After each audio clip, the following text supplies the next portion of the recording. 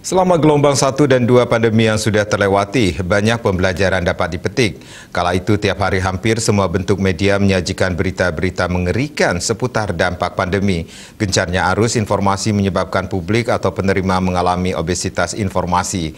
Belajar dari itu, semua pihak mesti melakukan mitigasi secara partisipatif guna menyajikan literasi digital.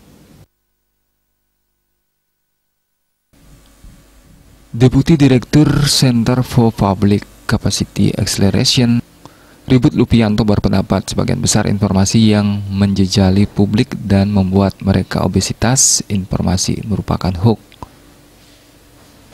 Literasi digital perlu diatensi dalam mengantisipasi obesitas informasi selama pandemi ini. Obesitas informasi disebabkan adanya timbunan informasi tetapi tidak produktif atau bermakna bagi hidup, sebagaimana disampaikan Habibie tahun 2018, timbunan informasi hadir karena munculnya kecanduan digital. Tumpukan informasi yang tidak berguna akan menghadirkan kekacauan berpikir, menghilangkan fokus, dan akhirnya menyebabkan tidak bisa mempercayai apa pun.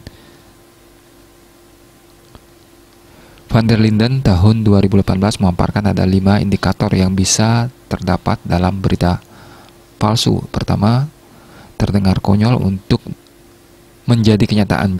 Judul berita kerap dirancang khusus agar kita mengkliknya, jadi kita tidak boleh terjebak clickbait.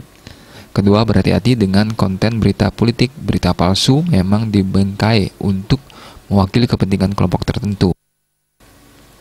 Banyak riset menunjukkan bahwa manusia lebih memperhatikan dan memproses informasi yang sepaham dengan pemikirannya. Ketiga, berita hoax lebih cepat viral daripada fakta viral tidak selalu menjadi indikator yang baik tentang hal-hal penting. Konten viral yang dibagikan berulang kali sering didasarkan pada hal-hal yang tidak akurat. Keempat, verifikasi sumber dan konteks. Ciri paling mencolok dari berita palsu adalah ketiadaan sumber. Berita palsu mampu bertahan di tengah masyarakat karena kita terus-menerus dihujani informasi tersebut.